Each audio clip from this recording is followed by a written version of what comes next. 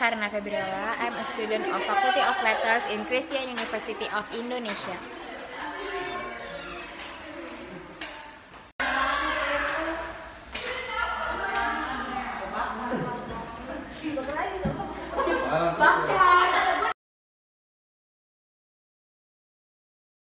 So guys, I'm a student of Christian University of Indonesia.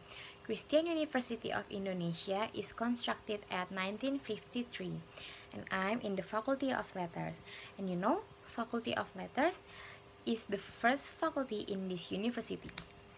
And now I'm going to talk about the corridor in Faculty of Letters. So, Faculty of Letters has some rooms. Uh, there are rooms for students to study.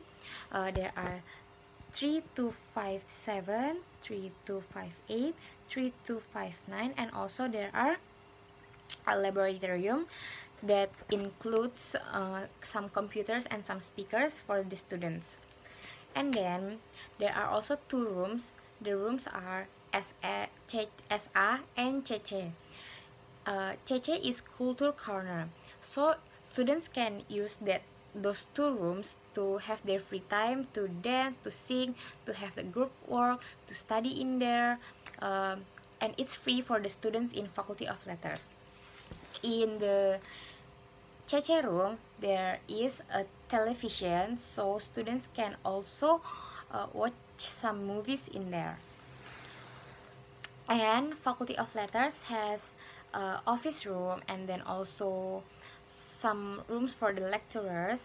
And then uh, the unique thing is faculty of letters has a kitchen a kitchen room. So the students can and faculty of letters just had an event. It called lustrum sastra. Uh, the event invited seven speakers. The seven speakers are from philippines uh, the event was held in GWS and it was in Tuesday, October 8, 2018 and the event was be began uh, at 8 a.m. until 5 a.m. In that event, uh, the students who who attended that event got some food uh, there are some snacks and also some main main course.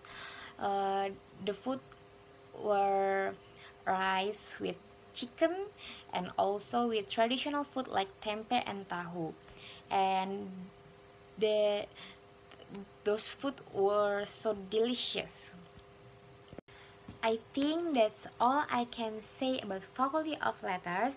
Hope you guys who watch the video enjoy this video and you have the interested uh, to to study at Faculty of Letters Christian University of Indonesia. Thank you for your attention.